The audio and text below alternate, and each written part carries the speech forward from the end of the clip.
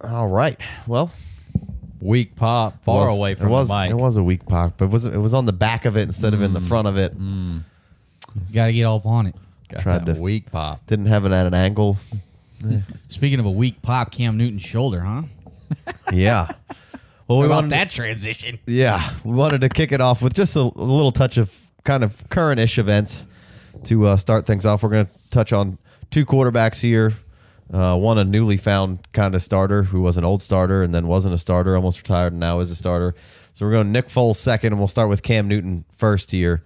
Um, basically, the big news of the week was that David Tepper came out and who's the new owner of the Carolina Panthers, and said in so many words that you know if we need Cam Newton to sit out for a year, he might need to sit out for a year to get right, basically. Which not really sure why you needed to say that. Um, and he did follow it up with saying, you know, if, if if we could sit him out for a year and he would be, you know, good to go and right, you know, it's pretty much a no brainer. Is kind of Sure. how all that transpired. But If it, it was the key it was word. it was unnecessary to even do that. So a couple of questions arose in my mind. Was it one just this is a newer guy on the block and you're in there talking to people and you know sometimes You say you probably too much. divulge a little bit more information. Like currently, if the Colts, if Andrew Luck had a little bit of a shoulder problem through at the end of the season, not saying that he did, I've heard nothing. I'm just saying using it as an example.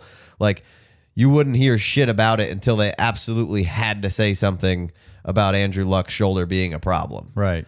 There's no like there wasn't any reason for them to for him to say that Cam could sit out all of 2019 to get right here. Let that play out, and then at some point when it's looking like, hey, we might need to let that whole thing play out, you do. So my big question is: is one, if you're a Cam owner, fantasy wise, how concerned are you? And two, I guess the second part of what I'm thinking David Tepper's kind of doing is kind of putting it out there like, hey, we can kind of take a quarterback over here, and maybe uh, if, if Cam has to sit out, this gives us a reason to take him, and maybe and through 2019 he plays pretty decent, and we could be like, well, we played pretty good with this new guy, we don't want to rock the boat, and we're gonna ship Cam out of here. And there's been some rumblings if Cam Newton, you know, is the guy, should he be the guy, which that kind of drives my thought process behind that whole thing of saying, did you say this just to plant some seeds of saying that, hey, maybe we might be taking a quarterback or picking up a quarterback and trying to uh, see what we could have in that and not have such a up and down? Because when Cam's on, Casey's, championship Cam. Casey's coming out with a little conspiracy theory there. Just a little bit, but uh, I don't why- mind Why, it. else would you? I mean, maybe it was the first one of saying, you know, you're new and you got caught up in the room and what was going on, and you know, Wanted to say something to get everybody's attention. sure, But, I think there's no doubt about it that you saw it in the in the play, the physical play on the field from Cam Newton, as far as a passer, especially those last couple weeks. was having a great season by all accounts in the first half. six and two, and then lost everything else. I mean, that was the epic collapse for the Panthers, and you could. So if they get the luck treatment, if Panther, if it like, I get what he's saying, and you said this when you got started. Like if if the new owner of the Panthers comes out and says, "Hey." You give me, I'll take. If, if I could get a year off of Cam, but he comes back and does what Luck did this year, basically as part, not necessarily complete stats, because Cam's only had, Cam's never thrown as many touchdowns as Luck did this year. But, you know, performance wise, I'm my shoulder's good. After the first couple games where Luck got benched for the heave at the end of the, uh, you know, throwing it in the uh, the hail mary, Right. That was crazy. The first couple weeks, everybody made a big deal about that. We were like, that's not a big deal. No. Cam Newton got taken out for his own heave at the end of the game there, and then next week or two he's benched. So I get what he's saying. I, I if, as far as the fantasy stuff, one quarterback league, you're probably. I mean, I guess you're worried enough to ha- you got because you probably got to find a replacement. Superflex league, this could be this is crushing Right. crushing in a in a super flex or a two quarterback league because there's not as much replace half more, less than half replaceability. Unless you got Nick Foles sitting on your bench with Cam this Newton. is true, but you know, this in the super flex and the two quarterback leagues, it's more than double the demand for the quarterbacks because some people want to have three and four of them. Like it's not even eh, you know in a, in a one quarterback league, you got that one guy that wants to have two or three quarterbacks, but at the most part, Maybe a couple have two. yeah, yeah, but there's you can get a quarterback in a one quarterback league and under any circumstances, you can figure it out. There are those rogue home leagues we've heard about where nobody will trade a quarterback, which is just weird. But in a real competitive line, in real competitive league where real money's on the line, quarterbacks move around. Superflex and, and two quarterback leagues, not the case. Tough. It's hard out there. Yeah, I mean, if you're a Cam owner, you definitely have to be, you know, sweating bullets here. You got to be a little nervous, a little tight in your in your booty hole. Uh, looking at the contract, so Cam signed a, a five year, hundred and three million dollar deal. Uh, that was back in. man, This like doesn't even really tell me. I guess 2015. Um, they have a it says they have a potential out in 19. Mm-hmm. It'd be eight and a half dead, eight and a half million dead cap. So that's like something to, to maybe keep in the back of your mind. Even more building the conspiracy theory here. Yeah. So yeah, I mean, it's it begs. It's like, why would that owner come out and say that? He doesn't need Except to say for that, he just January. didn't know any better and just got caught up. But, But he's got to have someone that's like right, vetting what You- he's about to say to people. you right? would really like to think that. Not so- if he's the boss man. right. which- Jerry Jones ain't nobody vetting him, buddy. He, he came in there and he did what was the kind of big dingling swing and, and bought up the Panthers because he had a ton of money. yeah. Uh, good so for him. maybe maybe he doesn't, but I just I can't understand why you would say that without having some sort of conspiracy theory behind there. Of maybe hey, we're trying to plant a seed of being like, don't be too alarmed if we do do something like this. Like, no, it's not the end of Cam. We're just you know bracing ourselves for what could be a Camless 2019. Well, I thought that that would that meant that they were trying to get people to trade up either past them for quarterback or trade to get their pick for a So you quarterback went a in the little bit upcoming uh, draft. opposite direction a little bit that they didn't Well- really want a quarterback and that they were trying to put out the vibes that they wanted. You I know, thought this was one. the earliest. Yes, the earliest. Um, hey, this is what we're, we're thinking about going quarterback. So you guys need to Yeah. look at our pick if you if you want to get one of these Dwayne Haskins or whatever. You're going to be looking to get over the Panthers because we're ready to take a p- quarterback. Which in turn you would think just in most cases when teams do that.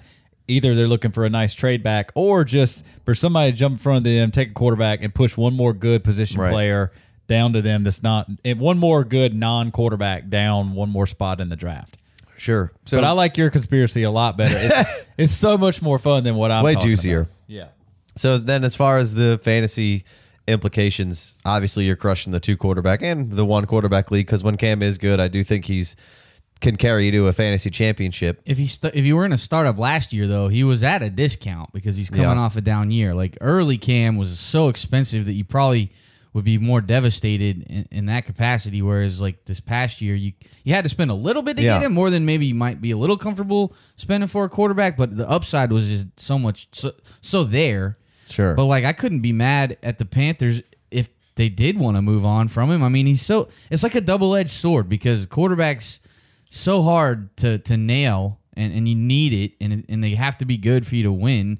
But like Cam, I don't know that he can win him a Super Bowl. Like he got to the Super Bowl and they were it, it, they were within eight points and he fumbled and he didn't even try to recover the fumble. Like he, I don't know how much this cat can can can take you to the promised land. Like he's got to be on the high high and he's got to be loving himself and everything has to be going great because the minute some adversity comes in there, Sure, you get he's pouty like- Cam. and then and then you're done and then Right. he's done. You get pouty Cam, and it's not great. But that's what I'm saying. When he's when he's good, he's good. I I, look at it as you know people are quick to say, "Oh, you, you ready to get rid of Cam?" And it's like, hell no, I'm not ready to get rid of Cam. Like, who else are you going to get? Like, Yeah. I know that there's some quarterbacks coming up, um, and we we st- there was a big quarterback draft this previous year with Baker and Sam, and we still don't know if half of those guys or if really any of those guys are going to be really good. We think Baker and Sam Darnold are going to be good. Jury's still out on most of those other guys, but we all those guys could flap this next year, and all of them could be it's so hard to find a quarterback. At least with Cam, there's a built-in somewhat of a floor that he can run around for a little bit. He's a bigger guy. He can make plays, Cam and if you have a decent defense around him, and I like where their offense was heading, like. I, I don't hate it. I don't love Cam's attitude sometimes, and I don't like Pouty Cam. Well, I don't, I don't likes mind pouty someone's Cam. I don't mind the attitude necessarily, but when it affects your play greatly, Well, it's great. It's a, when it's the attitude's working with you, it's great, and when it's working against you, it's miserable. Well, through through eight weeks with the bye week, they're six and two, um, and nobody's talking about we need another quarterback. Right. And even in, in as far as fantasy No, goes, pa- Pouty Cam's nowhere in sight. as far as, fan, as fantasy goes, let's say all year long, because he had week 14 and 15 were down weeks. He couldn't throw the ball, didn't do anything, and his shoulder was hurting, didn't even want to run. But those legs, and for your fantasy season, my man's averaging 22.8 ga- points a game with those two duds at the end of the year before when his arm basically stopped working. So you can easily, he was probably averaging, he was probably the quarterback three or 4 mm-hmm. Every For a uh, while. on you know every week. And he was on one for sure. He was he, he was on a heater. that's what, so yeah, exactly. Like 18, 31, 31, 20, 26, 27, 30, 23, 17, 28.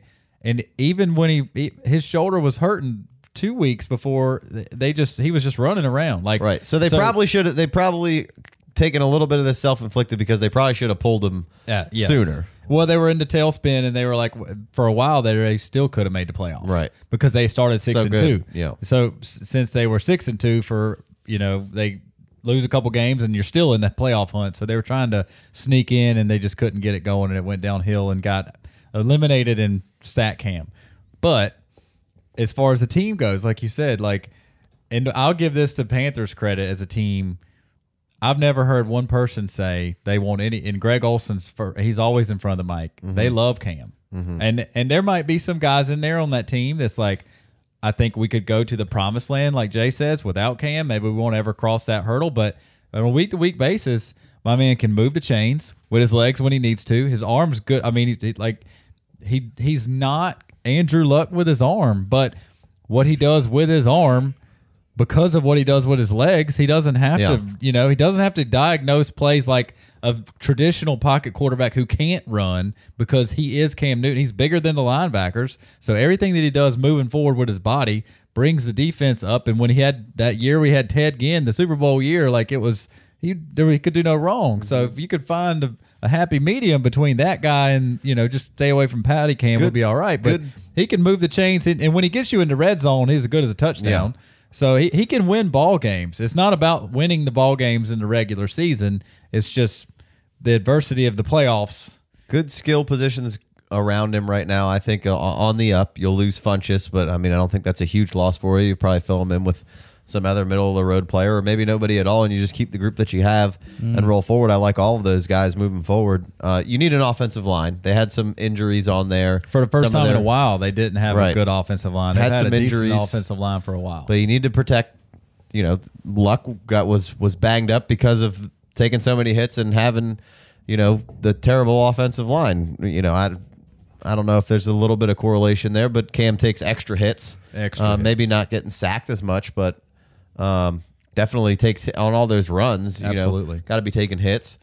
Um, if he does have to sit, the light at the end of the tunnel is at least you just saw Andrew Luck sit for a year, and you know, by all accounts, it looked like Andrew Luck by the end of the season was back and and as good or better than he's ever been. Um, so I think. You know, it is a little bit. If it's a two quarterback league, it's a little devastating. If it's a one quarterback league, you could probably get around it. But when he's good, he's championship level, taking your team to the promised land, fantasy wise. yeah. Um, so, I, but I do think there is at least a little bit of light at the end of the tunnel, even if he's not on the for whatever reason the Panthers when he comes back and healthy. Um, you know, I don't think you can go too wrong with Cam being your quarterback in fantasy. So, bummer that the shoulder's injured, but light at the end of the tunnel if he does sit out and gets right. Oh, topic number two. Let's do on it. The current-ish events. Let's uh we, we plugged a little Nick Foles. We'll start just right there. You believe in in Nick Foles right now. Gonna get a contract somewhere else, most likely. Um, we'll get into the speculation and a couple of other little things have connected some dots uh, at the end of the Foles talk. You guys in or out on Foles? If you have Foles in a two quarterback league, are you you you buying, selling? I mean, I think you should be selling in the bubble right now for super super flex and two quarterback leagues. Let's Foles is year in fantasy points totals, and I know he hadn't played a ton of games in his career. 99 fantasy points, 273 fantasy points. That was with Chip Kelly. Everybody knows 27 touchdowns, two picks.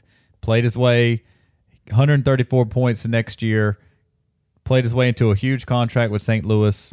That got him thinking about retirement. It was so bad. 98. backed up Alex Smith in Kansas City, 28. And again, this he's not playing, but it's his average is still he doesn't score fantasy points. He doesn't play. When he does play, it's it's he's a he's a winner. And he's not necessarily a prolific fantasy quarterback. He's not out there running around. He's not running in the end mm-hmm. zone. He does have some touchdowns here and there, but how who was calling for Nick Foles the first three weeks of the season? Mm-hmm. Where was he? Yeah. he, I know. Get Wentz back on the field. I know you weren't excited about your fantasy production out of out of Nick Foles the first three games of the season. Yeah. It- I te- well, it was six points week one against the Falcons' terrible defense, nineteen points week two on the road, at, and that's all he could muster was nineteen point six points against Tampa Bay, the thirty second defense in the league, and then week three. they were hot coming off of beating uh, the New Saints. Orleans. Yeah, right. And then he gets 10 points. Um, and uh, Wentz comes back and he sits out and he comes back and goes 10 By, points. by week four, Philadelphia was having a conniption and they needed to have Wentz back in there. Right. All right. But let's- again, this the the Nick Foles loves comes from wins. Like he did have 35 points against Houston in Week 16. Week 17, they had to win the game to make the playoffs at Washington. 16 points. 16 points in a winner against Chicago on the road. 16 points against Chicago on the road. That's probably like 40 points adjusted because he played against Chicago. But I'm like, and then 16 points against New Orleans last week. Like there are, n- there's not fantasy points, and you take them away from the whisperer, which is you know Pederson and and his happy place, which is Philadelphia. I I think you I think this is a huge sell window for sub, superflex and two quarterback leagues. You basically just got gifted somebody Sure. who went on your bench. You had him on you had him coming into the year, or he may have changed hands because when Wentz came back or whatever. Right. But I know we had him on our on our bench, and we were trying to plug him in. Got first couple- gifted him last year, basically. We had him sitting around. You got He- he gifted him came in, again. and we kind of didn't really do much with him. right. And now we're getting re-gifted. And I, We I- got gifted again, and I just I think you should be moving him here. That's what I would do. Is there a market for Nick Foles out there? Are there like Nick Foles truthers? well, I, I think. Well, I it think- only takes one. Yeah. It, well, one. Yeah, it only takes one, and, and True. two, like he's going to be a starter. So anybody in a super flex who's going to be a starter and has been at least viable and has a little bit of buzz, I mean, I, I don't think there there isn't a market for you. In, Yeah. uh, you know, if somebody's going to pay him to be their quote unquote franchise quarterback. Well, i- he's worth way more than a wide receiver three or wide receiver two in a two quarterback league. Yeah. just because he's a starting He's- quarterback. right. Exactly. Anybody that's taking snaps on Sunday is worth. and he's going to get at least probably two years a run of whether he's good, bad, or you know. To, I, I will say, Foles said he's grown up a lot, and he's he's he's more comfortable with the quarterback he is. Because let's go back to that good season. That was Chip Kelly. Chip Kelly's really first full year into the league, getting going, and nobody knew what to do with Chip Kelly's offense. Like defensive coordinator, Chip Kelly tore the league up. He went. He took a four and twelve team to the playoffs two years in a row, and then he, you know, he there Right. was his his downfall was bringing in Sam Bradford, but he should have kept the more athletic Nick Foles. Now that we can look back on it with good, clear hindsight. But- basketball player. right, right, exactly. Blow post and he can drain threes. But it's just, I think, I think you gotta. eh, eh, If he's in two quarterback league, he's worth a ton just because he's gonna be a starter. But before I see him not really live up to the, there's this Nick Fol- Foles love. Big Dick Nick is what they call him. Yeah. Eh, you know, like you Old got Saint Nick. all these things. You got to roll. You got to I roll like that Nick over. Foley and Dynamite, but whatever. Right. You got to roll that over now before you get lost in the. So we have him in uh in the UDPL, right? Yeah, but we don't have enough. We don't have enough interest in the league to really. we- Like Casey said, we didn't trade him when we had a chance because we didn't send out enough offers to get it done. Well, now we'll have plenty of time.